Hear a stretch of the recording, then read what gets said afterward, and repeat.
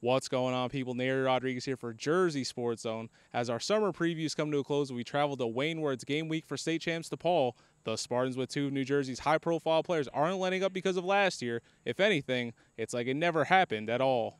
DePaul shocked football fans in 2017. The Spartans avenged a regular season loss to nationally ranked St. Joe's Montville in the non public Group 3 final. Coach John McKenna led the program to its third championship in four years behind a Division One caliber offense. However, that was last year, and with just days until kickoff, the team has put that state title behind them and is only interested in celebrating a championship in 2018.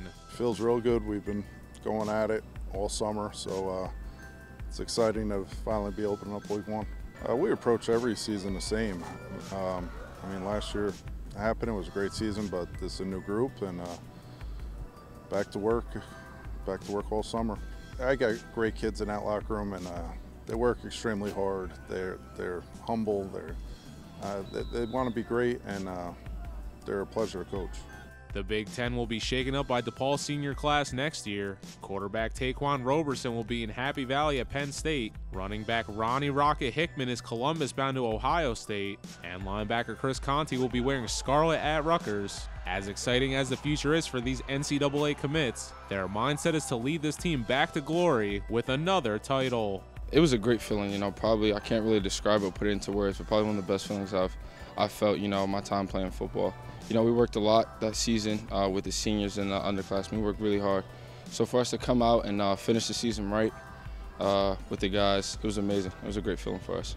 Just to stay up there, you know, that's the goal. I'm pretty pretty sure for every team in New Jersey or just playing football is to be number one. So when you get there, the goal is to stay up there, and that's what we're trying to do every day. Well, the difference is, of course, the great senior class we had last year and the leadership. But uh, this year we're we're young, but we're definitely we have good experience, especially with the skills and the line. And uh, I think it's going to be a good year overall. Uh, they need to know we're going to be tough. We're going to be uh, a physical team, and we're definitely going to, you know, just give it everything we got every game. I mean, just a beautiful feeling just to come back on the field and do what we love with the people you love.